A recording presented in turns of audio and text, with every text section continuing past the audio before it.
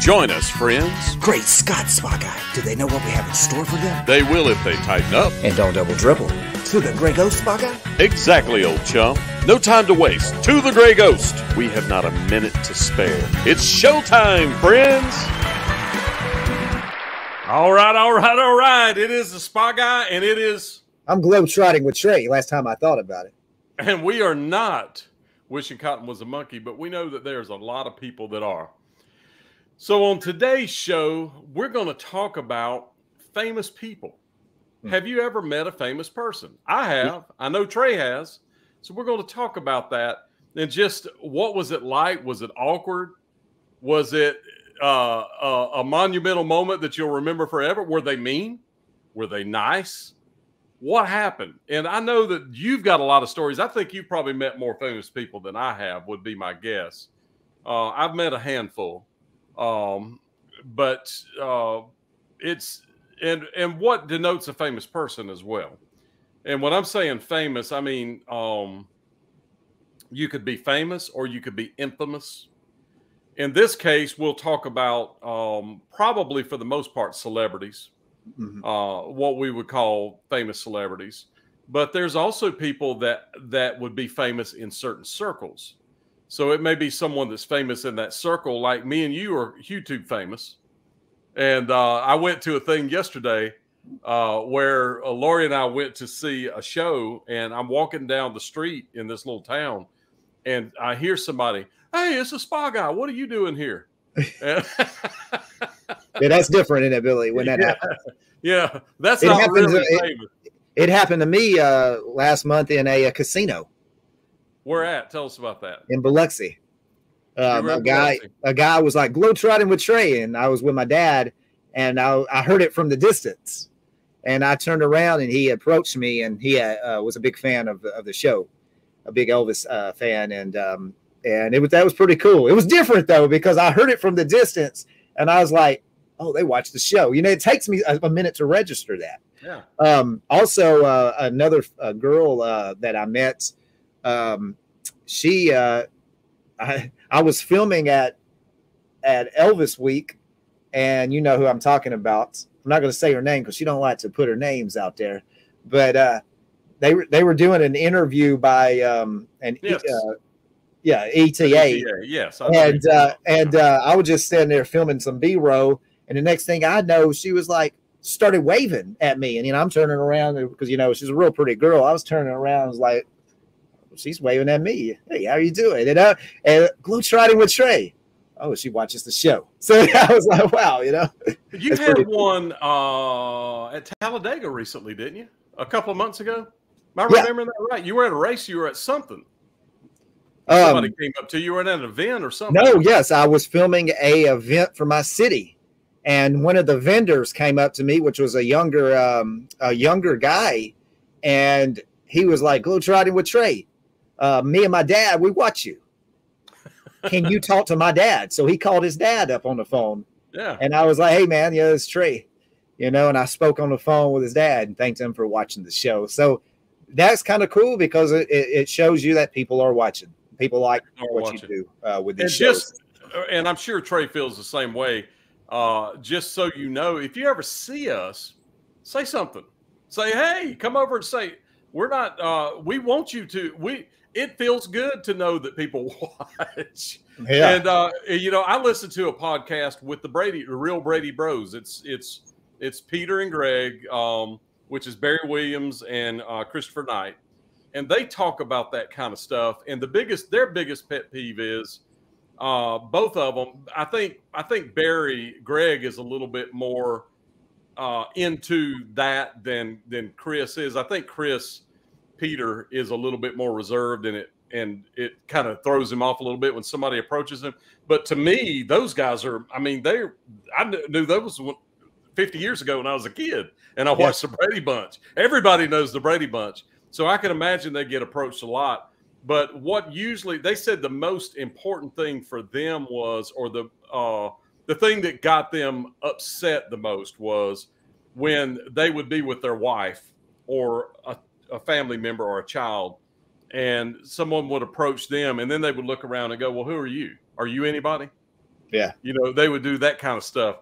So anytime that you see those folks, acknowledge their wives or their kids or whoever's there, yeah. and uh, you know, try to make it a pleasant experience for them too, because they're excited.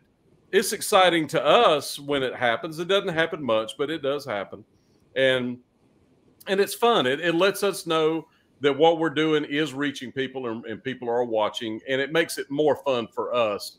Now we're not uh, Brady Bros level uh, uh, uh famous, but while we're on the subject of Brady's, we went to the Brady house and one famous. What are the odds?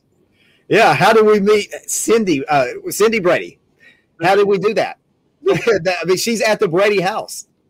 Um, her real name is not Cindy Brady, so let's say her real name. Um, do you remember it? Yeah, it's um, um, um uh, Olson, uh, Susan, uh, Susan, Susan Olson. That's Susan right. Olson. And Susan, they said something I find interesting on their podcast. They said that of all the the six kids, that she's the least like her her character.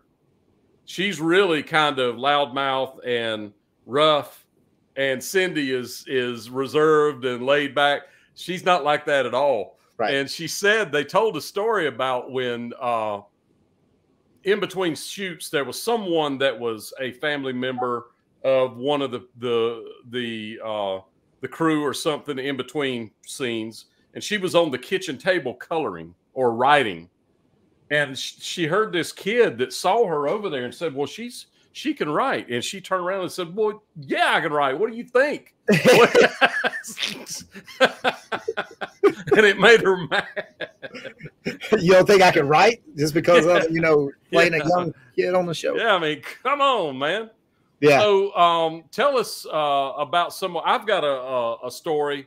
I'll let you go first on something, but but you and I together met Susan Olson at the Brady house. How surreal was that? That and was you've got a cool. video about that out, and I have a video about that. I out. was luckily filming and that was cool to actually meet the actor at the famous house for her show for the Brady Bunch show. I mean, that's a character in itself, the Brady Bunch house, because yeah. I believe uh, it's been a long time since I've watched the Brady Bunch, but I believe every episode they popped a shot of the uh, of the house before. Yeah, uh, what starts. we would call a beauty shot, except yeah. for the very first episode. The first okay. episode was a different house. Okay. Episode uh, season one, episode two, all the way to the end was that house was the beauty shop. That's right. Yeah. So, man, how lucky did we get, Billy, that Susan Olson come out on the front lawn and talk to us, you know, and yeah. I'm asking her questions. Now, yeah. I wish and I would have actually known. got to talk to her. Yeah, but I wish. I would have known about her being in an Elvis movie. Yeah. I didn't even think about that, you know, so maybe next time. But I have, really been lucky so far because I have been able to meet some of my favorite stars of all time. And I don't think everyone gets that opportunity, Billy.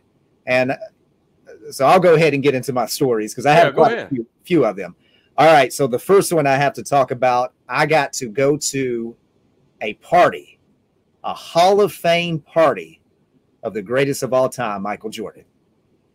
The GOAT. And everybody that, if you know me personally, you know that Trey is probably one of the biggest Michael Jordan fans in this world. No doubt, since I've been a little kid, Michael Jordan's always been my my, my basketball hero, and uh, so when he went into the Hall of Fame in uh, Springfield, Massachusetts, the home of basketball in 2009, I had to be there.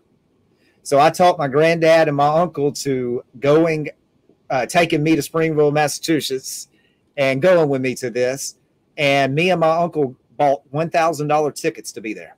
Yeah, they jacked the prices up because Michael Jordan was going into the Hall of Fame. Wow. Yeah. And he even, Michael Jordan, even that night in his speech, thanked them for jacking the prices up because he was going in and he said he paid all the prices for all of his family and friends to be there. So thank you, Hall of Fame, for doing that. You know, by being real sarcastic, like, you yeah. know, I see what y'all did. You know, and how far is that from your house? That was a ways. Oh, yeah. We had to fly on an airplane, hotel, and everything up in, you know, it's, it's the border of Connecticut and Massachusetts. Yeah. Because my story happens in Connecticut. So I go to the Hall of Fame, and that is just that's awesome. I actually filmed that. I probably I need to do a show about that one day. Yeah. But uh, so the next night, the NBA Hall of Famers have a ring ceremony at the uh, Mohegan Sun Casino in uh, Connecticut, Harts, Hartsville, Connecticut, or something like that. Uh, but uh, so I go to it, and uh, Billy, it was the quickest hundred dollars I ever pulled out of my pocket. And what I mean by that is you had to get have a ticket to go to this ceremony. It was in a, an event venue inside the casino, and uh, so we get to the door. It was me, my granddad, and my uncle, and um, this guy had an extra ticket. And I was like, "How much you want for it?" He said, um, hundred dollars." I pulled a hundred out as quick as I can. My uncle and granddad said that they had never seen me give away money that quick. I left them outside, mm. and I went into the to the uh, to the event they got in free and had better seats than me. Wow. So anyway, when I was in there, I noticed Michael Jordan's table was up at the front, of course, and uh, I walked around before the event and got some pictures of the uh, the statues and things up front. They had some. They gave the Hall of Famers these beautiful crystal basketball statues. So I cool. I saw Michael Jordan's statue. So I took some really great photos. But there was this old man that was sitting there at a table just by himself. And he looked familiar to me. And I knew that he was somebody in basketball, and I just couldn't place him. So, me being me, I went and introduced myself to him. Hey, Trey, sit down. I'm Coach um, Johnny Bach. I used to be the Chicago Bulls assistant coach when, with Michael. Yeah, Coach Bach, that's how I know you, you know. So I, I'm, I'm asking him stories about Michael, and he's telling me his favorite stories about MJ. And guess what he said? He said that Michael flew him here, paid for his tickets to be here, and said that he had to be there, that he wasn't going to take no for an answer. Wow. So Coach Bob, Michael Jordan said, Coach, you got to be here. You know, I'm paying for everything. You're going to be here. So he was sitting there, and I remember a girl that was working thanked me uh, for c- coming over there because I guess he had been sitting there alone for a long time. And she she thanked me for coming over there because you know so how excited he was man. That was so incredible. So coach bach. And uh, but anyway so after the ceremony i noticed all the people that were at the tables were michael and his family were sitting at and uh, so i did the same thing i went up there and i introduced myself to leroy smith and who leroy smith is y'all have all heard of him because the famous story of michael jordan being cut from his high school varsity basketball team in high school Everybody has heard that story. Well, Leroy and Michael were in the same class in the 10th grade. Leroy, though, at this point was six seven. Michael was around six feet at this point in his life. They selected Leroy to play varsity and they sent Michael to the B team that year. So Michael Jordan being Michael Jordan, he flew his old friend Leroy Smith to his Hall of Fame, put him in the audience, and then joked about him to the whole world live on television so that's I started telling Leroy about, man, it was so cool, Michael, bringing you up yesterday, and he was telling me. And so we were, I was, you know, asking questions and stuff, and he said, "Hey, uh, Trey, if you really want to learn about Michael, you need to talk to that guy right there." He pointed to this white guy that was just sitting there minding his business, Billy, little bitty white guy, just sitting there drinking a beer. He had a coat on and a black shirt, and he had the white jump man right here. I'll never forget it. Me and DB, we talk about it all the time these days. And uh, so his name was David Bridgers, and David Bridgers, DB, was Michael's best friend growing up, and they're still that close today. So DB telling me all these cool stories of he and Michael Jordan playing little league baseball together, and Michael betting that he's going to hit a home run on a team and taking that team's money and hitting the home run and running around the bases, telling them, I told you I would hit one. I told you at 11 years old. So he yeah. was betting way back. Michael Jordan was Michael Jordan before the world knew Michael Jordan. yeah. And DB is just like Michael. And they were tight. And I, am telling you, they they fought each other, they battled each other on, in games, they talked junk to each other. These guys and my and DB still talks junk to Michael, you know. But uh, uh, he's a real friend to MJ, and I'm sure that uh, MJ loves that about uh, DB. But keeps him grounded. Yeah, unbelievable. Yes, he does. Great friend to have. But anyway, so DB was telling me these stories, and man, he he said something. He said, "Trey, I'll tell you what. If your if your granddad and uncle will let you, I'll take you up to M's party. They call him M. They call Michael Jordan M. His closest people M. I'll take you up to M's party oh yeah, they'll let me DB. And I'm sure I said something like that, excited as I was. So uh, DB took me up to Michael's party that night. The security opened the doors for me. He gave me a, uh, a band like this. This is a Michael Jordan band that I wear, but this is not the one. But it's a North Carolina Tar Heel color band that Michael gave to all of his family and friends. That's how he, you can get into my party. And it says MJ Hall of Fame on the band. I still have wow. it. DB gave it to me and said, I'll just walk in. Security opened the door. Of course, DB walks in. I walked in. D- man, I'm telling you, this gets even better, man. I'm in there with all of my favorite basketball players that I grew up loving. And they're coming up and talking to me because DB's introducing me to Ron Harper, to Scottie Pippen, to to to um, Charles Oakley. Spike Lee is behind me. I turn around and there's Spike Lee right there. I'm talking to all these people that I've always liked, you know. And then Michael is sitting at the table, um, Billy, and he's sitting there with his his wife, which I think was his fiance at that point, and his mama is at the table, and his older brother is at the table. Okay. So Michael sees DB and he gets up, gives up, and gives him a big old uh, bear hug, asking where he's been. And uh, so anyway, they chat for a few seconds, and DB does the coolest thing, man, that you could do. DB said, "Hey, M, I want you to meet my good friend from Alabama, Trey Miller." And I'm standing there, man, and Michael looks at me, Billy, and he looks into my eyes and he says, uh, "Nice to meet you, Trey." And I say the craziest thing that anybody could ever ever say at this moment, meeting your hero. I say, Mr. Jordan, I'm a big fan. it's an honor to meet you. I've I've asked myself a million times, why did I call him Mr. Jordan? You know, why did I call him Mr. Jordan? But you lose you lose something about yourself when you're in these situations because your heart's pounding. You can't believe that you're actually standing there with a person that you've loved that you've never met, you've just seen through televisions, watching games. Uh, everybody, I told everybody that I was going to go meet Michael Jordan, and everybody laughed at me. Then I did, I made it happen. And and the the coolest thing happened. I stayed in that party for four hours, Billy. And uh, at some point during that time in there, all of his family and friends like turned into fans, man. I had never seen anything like it. And what I mean is, everybody wanted photos with Michael, and he was signing autographs to everybody. Uh, it was incredible, man. So I said, Hey, this is my opportunity. I had my camera on me. Actually, this camera right here.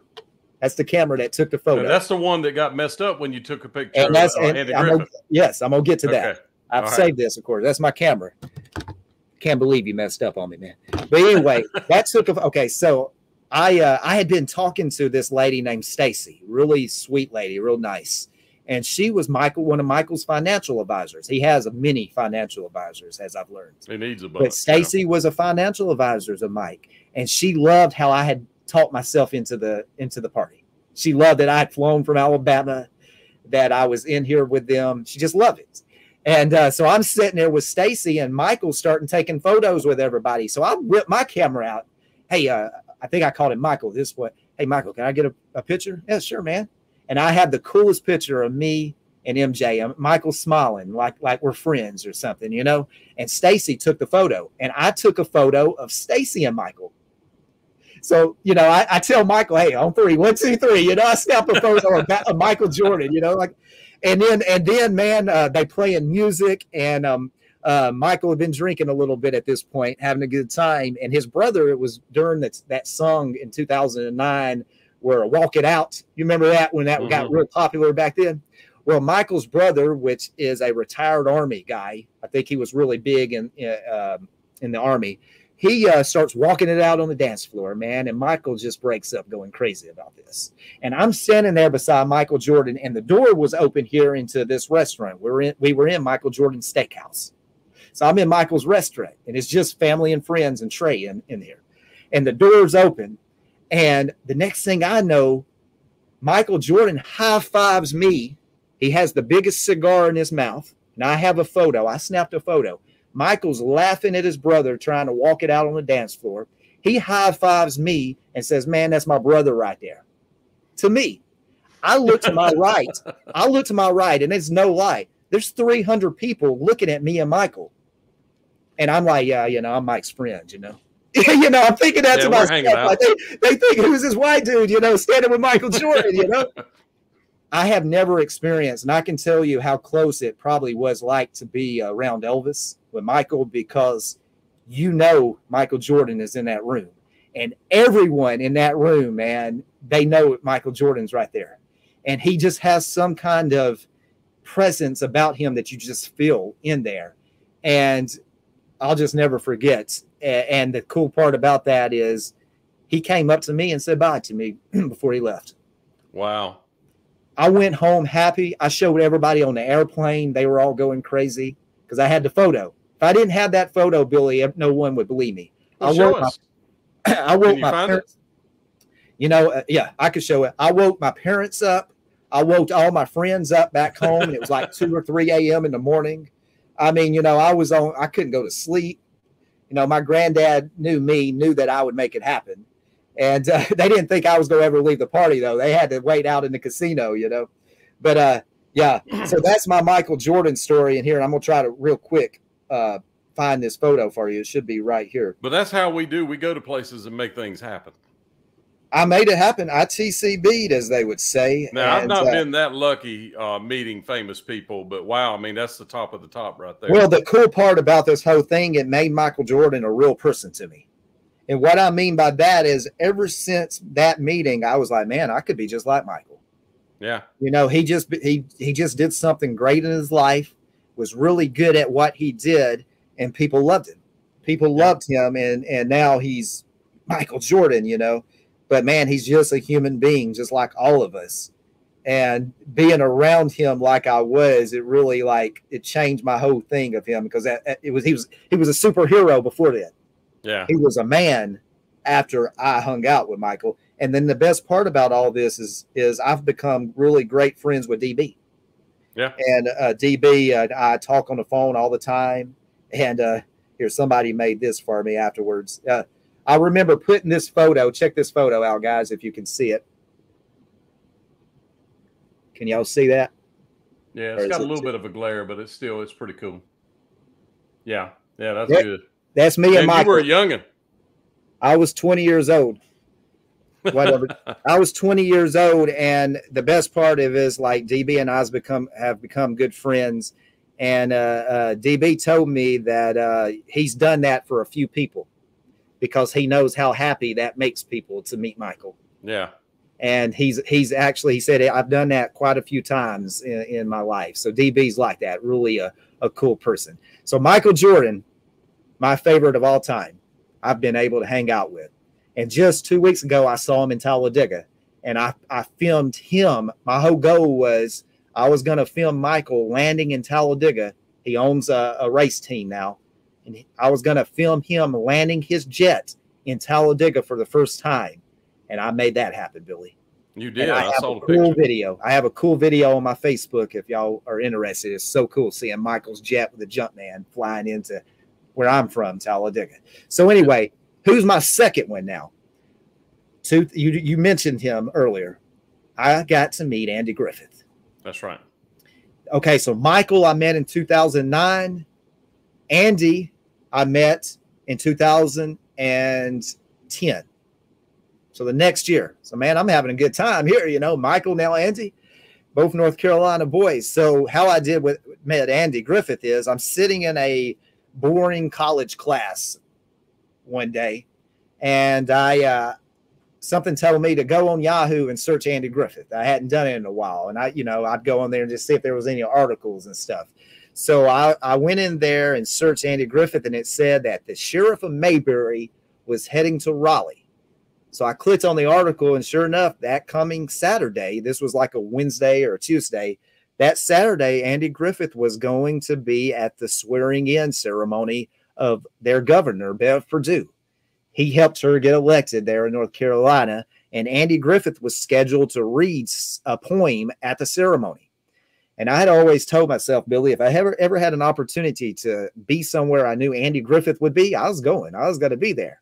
So that's exactly what I did. Now, unfortunately, I had scheduled a date already with my girlfriend uh, to uh, for that Friday, and I kind of I still did the date. I don't know how I did that, but I I I dropped her off at the house. I came back to my house. I tried to sleep. I couldn't sleep. I was so excited. So I, without telling anyone, I jumped in my mom and dad's car, which I had at that point, and they didn't know because we had separate houses and stuff. They, uh, I didn't tell anyone. I drove all the way to Raleigh, North Carolina, man. Yeah. so it took me seven hours. I, I left at like 9 30 I drove from 9:30. I got there about five in the morning, 4:30, 5 in the morning. It was freezing cold. It was in January. I went right to where the ceremony was going to be, be, which was outside of their Capitol building. I saw all the chairs set up and I said, Well, man, I'm gonna have the best seat in the house. I'm gonna be the first front row, right? So I get out of the car and uh, um, I get interviewed by the news station. Hey, are you already here for the ceremony? It was like seven in the morning. I said, Yeah. I drove all the way from Alabama because I'm a big fan of Andy Griffith. They put me on the news, man. So I get a great seat. I'm sitting there and I'm hearing people talking about, yeah, before I left uh, uh, to come here this morning, I learned that some guy drove all the way from Alabama not to see the governor, but to see Andy Griffith. And the person sitting beside me was like, that's the guy right here. Cause I'd already told them the story, man. So I'm having all these people, I'm retelling my story of why I was here and stuff. So sure enough, Andy Griffith comes out and does a great poem that he had written.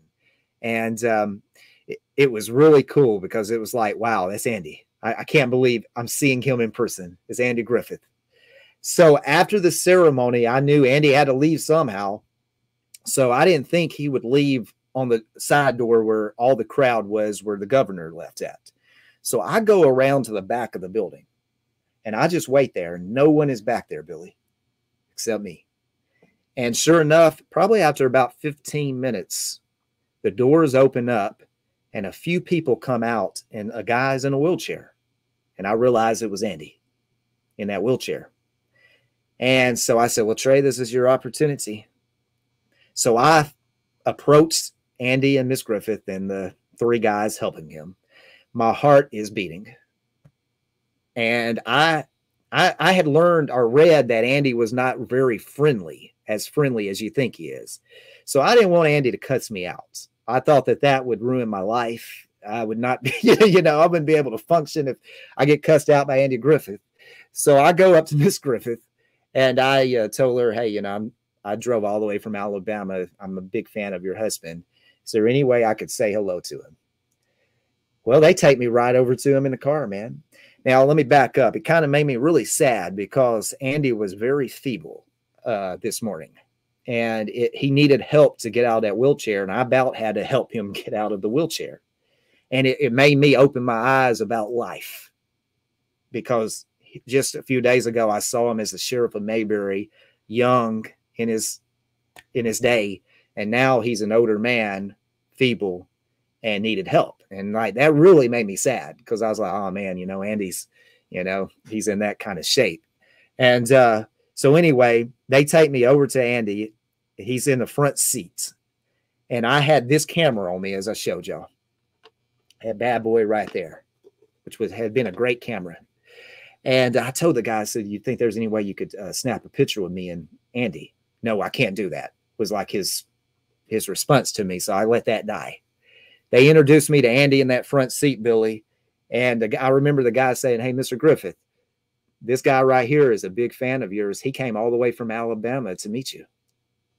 And Andy looks at me, man, and he has a big smile on his face. And I remember saying, I remember saying, Hey, Mr. Griffith, I just want to tell you, thank you. I said, I, I want to thank you for all the entertainment that you have provided me. I remember telling him that. And I said, you know, when I was a little guy, I used to dress up as the sheriff of Mayberry when your show was on. And then after the Andy Griffith show went off, Matlock would come on and I would go and put on my best Sunday suit and I would become Matlock. They all laughed at me. Andy Griffith, his wife in the back seat, all of them laughing at, at me at that. And I just thanked him, man. And I'm shaking his hand. And the guy snapped a photo while I was talking. All right. So he handed me the camera back. I watch as the car drives off into the sunset.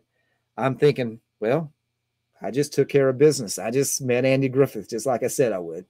And I look at the photo, and the the the camera, this lens right here, froze halfway. Billy. Mm. Never has that ever shutter piece that yes. does like that. So yeah. I, I guess the guy just really quickly did it and not like looked what he was doing. I mean, come on, man, you can't see, you can't see me and Andy in the in the in the viewfinder here. Here, yeah, you know, and he just took a real quick shot trying to take a picture, and but he didn't take a picture. You have the top of my head, which is my top of my head here, and you have Andy's top of his car, but you don't see Andy in the photo. But sure enough, I did shake his hand. I, I looked in his eyes. He thanked me. And I told him, hey, thank you for it, man. I just hope that, man, because he was in his 80s, what, 85, 83 at this point. He died two years later. Um, might have been 84. Uh, I hope that he thought, well, maybe I did something with my life. I mean, how old was that guy? 20 years old? You know, yeah. he drove all the way from Alabama to meet me and thank me for my entertainment. Maybe, maybe that made him happy that day. I hope so. I hope so. But that's my Andy Griffith story. So I've met two of my favorites. Michael Jordan and Andy Griffith. Cool. I'm telling you, like from a little eight, from me as a little kid, I'm watching the Andy Griffith show, man. I was I loved Andy Griffith, and he was my favorite. You know, everybody seems to love Barney. I've always loved Andy. I thought Andy was the man, you know. Yeah. And um, but anyway, my next one, Clint Eastwood, my other favorites. Mm. So how did I meet Clint? Uh, do you want to share a story, or you want me to keep going? Yeah, keep going. All right. So um, Clint Eastwood, man. So I worked on a, um, his movie Trouble with a Curve in 2012, and um, I spent a week on that set doing uh, extra work. I uh, I had not been doing extra work anymore at this point, but I couldn't pass up an opportunity to watch Clint Eastwood work. So that's what I did. It was kind of like an acting class to me. So um, we uh, filmed at this old rundown motel in Dawsonville, Georgia. And if you see Trouble with a Curve, it's where he stays at in the movie. He goes and gets on the payphone. I'm behind the cameras in that shot. I watched them film that shot. He smokes a cigar, which was the coolest thing I'd ever ever seen because he lit that cigar like he did in his westerns.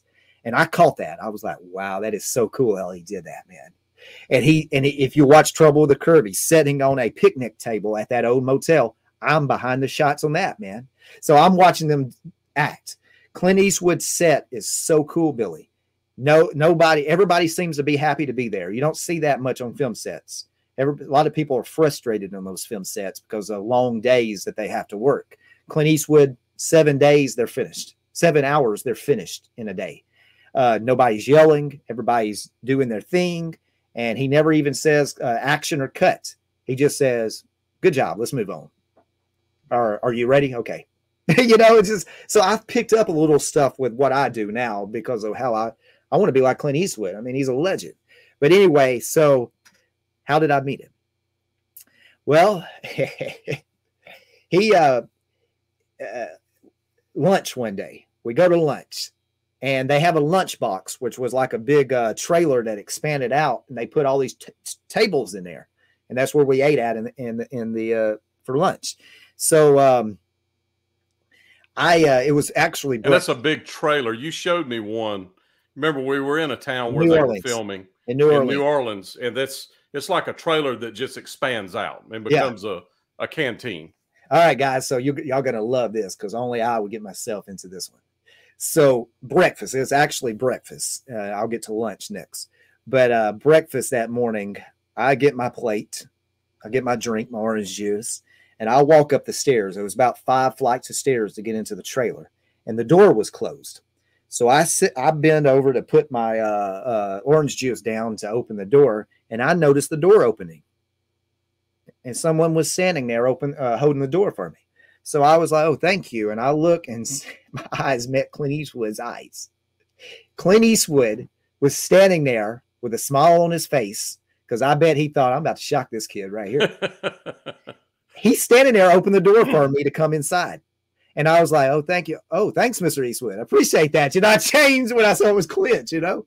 So Clint just, you know, smiles at me and I walk in. I'm thinking, well, nobody else this day in, in my life had that happen. I'm the only person in this world that Clint Eastwood just held a door open for. All right. The next day, he comes over to us. It was me and another guy that was working as an extra and a few other people how you fellas doing this morning? wow, Clint Eastwood's coming over and asking us how we are. How and he called you he called us a fella, just like my granddad, and they were the same age. You know, was it you know people that age? That's how they talk. How you fellas doing this morning? So anyway, for lunch that day, I did something that I would probably only do. I went into the lunchbox with my plate, and I noticed Clint Eastwood was sitting on that first table, Billy, and it was Clint, and it was the director of the movie, and it was Clint's cameraman, and it was Chuck, which was Clint's security guy that I had talked to a few times. And I noticed two other things. There was two chairs open right beside Clint Eastwood at this table with all the main people for this production. I noticed another thing. About 10 tables back was all the extras and people in the back where I guess I was supposed to be. Something told me, said, Trey, you're never going to get this opportunity. You better take it. So I did. I slid I slid my plate right in, and I did not I didn't put my plate right beside Clint. I put my plate on the other chair, which so there was one chair between me and Clint Eastwood.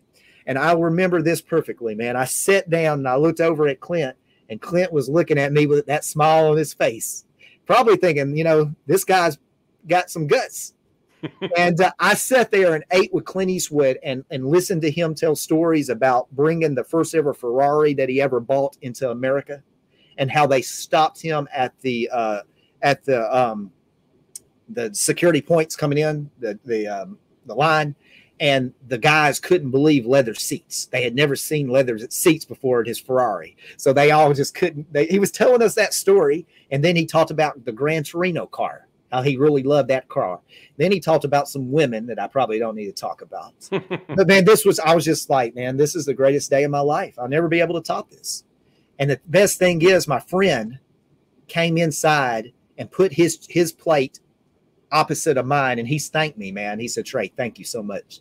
I would have never ever done that. And all the other people are like, what are they thinking they're doing? You know, I'm sitting by Clint Eastwood, and he smiled at me that's my Clint Eastwood story. And and the best part is I sat there eating my food, and in my in my head I was like, I know what you're thinking. Did I fire six shots or only five? Would it tell you the truth and all that mm. excitement back there? I kind of lost count myself of being here that this is a 44 Magnum and the most powerful handgun in this world, and it could blow your head clean off. You got to ask yourself a question. Spa Guy, do you feel lucky? Well, do you, punk? I did that monologue as I was looking at Clint Eastwood. I know I'm crazy, guys, but hey, that's my story. And so in it, so Clint Eastwood, man. So Billy, I want you to be able to tell yours because I still have I, another cool. Hey, no, keep on, keep on going because I'm I'm not even close to in that realm of right. people that I have have uh, met. So go ahead. All right, guys. We've got uh, we've got uh, eight more minutes, nine more yeah, minutes. We might have to turn this into a second parter. So, yeah. guys, I've been able three of my favorites, Michael, Andy, Clint. Doesn't get any better to, to, to me than that. But there is one other person that is on that level that I love to death and have loved since I was a kid, and that is Chuck Norris. I am the biggest Chuck Norris fan in this world. I love Chuck, Walker, Texas Ranger. I've been watching that with my dad since I was a little kid and my granddad and all of his movies. So I have become friends with Chuck Norris, Billy. And how in the world did that happen? I don't know. I don't know, except that in 2004, when I was in the 10th grade, I taught my mom and dad to taking me to Douglasville, Georgia, because Chuck Norris was having a book signing. His autobiography had came out that year, uh, Against All Odds, and I, of course, knew his schedule. And uh, he was coming to Douglasville. And man, Douglasville, I, I knew about Douglasville because we always go to Six Flags, and we would pass Douglasville. So I talked them in on a Saturday morning, taking me to Douglasville, Georgia. And of course, we had to get there early. That's how I do things. And uh, we're, you know, in a line, man. And there's already a big line wrapping around the building when I was there. And uh, so Chuck Norris finally arrives. So cool. So we go in there, and a few months earlier, I had written a, um, I had written a letter to his website. Back then, they had like a fan page where you could submit letters, and they would pick fan letters and put on the official website. They had picked my letter. There's my letter on Chuck's website, and I talked about me uh, how being a big fan and watching the show with my granddad, my papa, and he had died a year before that and stuff like that. And uh, so I took that letter, I printed that letter out. So when I met Chuck that day, I showed the letter to them. And it was so cool because his, his wife started reading the letter. And his wife was like, Oh, Carlos, that's the letter that your mama picked. So Chuck Norris's mama, who by the way turned 102 years old last week. Wow. Chuck's mama is 102 years old. She picked my letter to be on that website. So I was thinking, oh man, I, that's that's pretty cool right there. I didn't know that. So Chuck signed my letter to Trey, a friend, Chuck Norris. So I started talking to his bodyguard, Billy. Howard Jackson, the California Flash, which is a boxing champion in his own right. And I noticed that Mr. Jackson is a guy that I've seen many times because Chuck beats him up everywhere. Chuck has beat his friend up in all of his movies, all of his TV shows. I mean, Mr. Jackson's been beat up so many times, but Chuck Norris is, is awesome now because I know. So, anyway, Mr. Jackson told me that he remembered my letter because he worked on the website. So, he read all the letters and stuff. So uh, so I came back and Mr. Jackson put me back in at the end of the line and he cut me off. Chuck stayed there about three more hours that day. He signed over a thousand books. He put me at the very end. I was going to be the last person. So I got to go back up there with that letter with Chuck. And that's how I was able to, to, to talk to them and everything. So I became friends with Mr. Jackson. Mr. Jackson and I would write emails and stuff. So I stayed in touch with Mr. Jackson. I learned a lot of cool things. Well, unfortunately, in 2006, when I was in high school, he died of cancer. Wow. And uh, I, I, kept up with him on on the uh, on the website and stuff. So fast forward to 2010, Chuck Norris came to Tuscaloosa, Billy, with Governor with uh, Huckabee, Mike Huckabee. When Huckabee was running for president, Chuck Norris was his big supporter. So I went to that church that day, man. I uh, I found about it. I found out about it on last second. I did my thing. I got there early. I'm at the church. Thank you. Thank you very much. Okay, I'm gonna try to be four minutes. I'm at the church. First person there, just like with uh, Andy Griffith. I said, "Man, I'm gonna be in the front row." Next thing I know, the pastor of the church knows me because of my basketball. He had watched me play basketball, and I had played against his son, so he recognized me. So I'm thinking like, yeah, I'm definitely gonna be sitting front row now, you know. so anyway, Chuck comes there, he does his thing, so incredible speech, and uh, he meets the fans afterwards. So he's he's just meeting everybody. He finally gets to me, and I have my Chuck Norris shirt on, and it says, "I don't need a weapon. I am one." And that's a picture of him for missing in action. It was when the memes were becoming popular. So I said, "Hey, Mr. Norris, how you like my shirt?" And he read my shirt, man. He punched me on my uh, he punched me right here on my on my shoulder, you know, not really hard, but he punched me. I was like, man, I just got punched by Chuck. you know, and he signed my shirt for me. So I see his wife, and I, I start talking to Miss Norris, and I say, hey, Miss Norris, I just wanted I wanted to tell you how sorry I was about y'all's friend uh, Howard Jackson dying. That he and I had become friends. Well, man, that touched her, and she started tearing up. She talked to me for like 20 minutes, Billy, and tell and, and he she was like, Trey, you don't know how much this means means to me. So the next thing I know, I walk outside and Chuck finally gets to the car and there's like 500 people around us. And she comes over and gives me this big old hug and thanks me again and tells me to keep in touch with them. And I say, you know, I'm probably say, oh, I will, you know. And uh, the next thing I know, Billy, the window opens and Chuck Norris motions for me to come over to the car. And I'm walking over there in front of all these people, and Chuck wants to shake my hand. And he said, he said that, hey, my wife told me what you said about our friend. And I just wanted to say how I appreciate that, man. And Chuck Norris looks at me, Billy, and he did something that I'll never forget. I think about often. He said, Hey, Trey, whatever you do in life, do good. Chuck Norris told me that. I've always thought about that. If Chuck ever watches this, you know. And uh, so, anyway, they drive off. A few years go by. I'm in a, I, I, I find out that he's going to be somewhere else. And of course, I'm there. And that's in Birmingham where you're filming, Billy. You don't know me. I don't know you at this point, but I am on your film because I'm with Chuck. I guess God made this happen so I could have these moments captured. But I hung out with Chuck that day because they remembered me and they were like, "Hey, you're going to be with us." And uh, we go there to the BJCC, and I walk Chuck and them back to the hotel because I knew my way around that. So, man, I have been able to hang out with Chuck Norris, to actually talk with them personally, to talk with Marshall Teague, his friend that's on all of his Walker shows. He's one of the big villains on the show. I got to hang out with Marshall Teague that day, and uh, Chuck in the he was honored at an Action Fest film festival in Asheville. I was with them. I was backstage with them. That's the coolest moment. I, got, I have to mention this. Y'all will like this. We're standing there in the green room, and all these people are around Chuck, and they're just talking like stories about their filming. And it's Chuck Norris, and it was Aaron Norris, which is Chuck's brother, and the director of a lot of the episodes of Walker, Texas Ranger, and some of his movies. And he said, The next thing I know, I'm standing there with Chuck and Miss Norris, and I have the photo of this, and everybody starts laughing and we look over and they have a screen right there of missing in action playing. And Chuck in the shot had just came out of the water and he was blowing everybody away with a machine gun. And Chuck is just laughing. And I'm standing there watching Chuck blow everybody away on this cool, iconic scene. And I'm standing there with Chuck Norris himself watching himself do this. And he's just a smiling. I mean, how did that happen for me, man? You know, and uh, so anyway, that is my Chuck Norris story, and uh, you know, you know for a fact because I put this in your 50% owned Tiger Man Karate Dojo and Museum.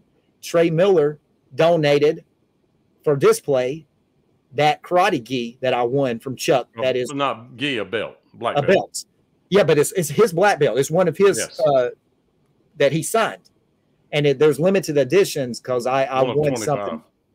Yeah, and uh, that was on display for a while there in the Tiger Man. Sure was. Uh, because of me and Chuck yeah. Norris. So, you know, because Chuck has that Elvis connection, man. So, yeah. yeah. man, that's my Chuck Norris story. So I've been able to meet all just about all my favorite people uh, that I, I grew up loving. That's very cool. And what he's talking about, and Trey and I met the first time here, but we didn't realize that we met the first time here it was a Glenn Beck event in Birmingham, and they actually walked from the church to the BJCC, and I walked backwards in front of them that whole way and got to talk to Chuck. And Trey's right there on late later. we talk about that. he goes, "Well, I was there," and I go, "Well, then you're on my camera, on my film." And I go, "Sure enough, I was." There you are. sure enough, I'm right there with Chuck. I'm right behind him walking. Yep, you sure. And we got to the BJCC. Gena. Am I remembering that right? Gena Norris. Yeah, Gena okay. Norris. And remember okay. Billy and and the best thing about it, guys, is Billy could have walked in there with me and Chuck Norris and Marshall Teague and Gena, but Billy, you didn't do it because you had something on you. I had my gun with me, so I didn't go inside. I thought they would wand you and all that. No, they didn't. and uh, and they didn't, so I messed up. But I was right there with them. Yeah. You were so, but man, that is so cool that you were able to capture that, man. I walked backwards. How far was that? How many miles? That, that was, was a, a, few miles, man, because that yeah. was from that church that the bombing yeah. happened in Birmingham in the 60s. That's right. And it was all the way to the BJCC, man, which was a lot of a few blocks. Yeah, it was a lot. It was uh, that was an interesting day, and that was fun. Well, we're over by about three minutes. Sorry, guys, but man, what incredible stories! And those those blow my uh, meeting famous people away. So I don't well, have anything even near that. So. Yeah, but tell the one about you were talking about, Tiny Tim. Who's Tiny well, Tim? Well, I will do that in another episode. Okay. We'll talk about Tiny Tim in another episode. So, so thank you so much for watching, friends, or listening. Yeah, and we appreciate it. And make sure that you smash that like button and tighten up every chance you get. And Trey just showed you that if you want to meet somebody or you want to do something, you can. Yeah. But you got to actually go and do it don't be forceful, be nice, and people yeah. will be nice back. Look, these people are, and that's why I'm so lucky. Is Chuck Norris became just a, a regular person to me. Uh, Michael Jordan, the same way. Like I said, Clint Eastwood, the same way. These people are are they're nice, and if you just treat them nicely, I mean, don't go crazy around them, uh, but just be normal and and uh, introduce yourself and just hey, tell them, hey, I really appreciate uh, what you've done for me. You've entertained me, and it's worked for me. I yeah. mean, it's worked for me as you can don't fangirl them just yeah. go up and and be nice and and acknowledge that you appreciate them and and they'll be nice to you right thank y'all so much tighten up every chance you get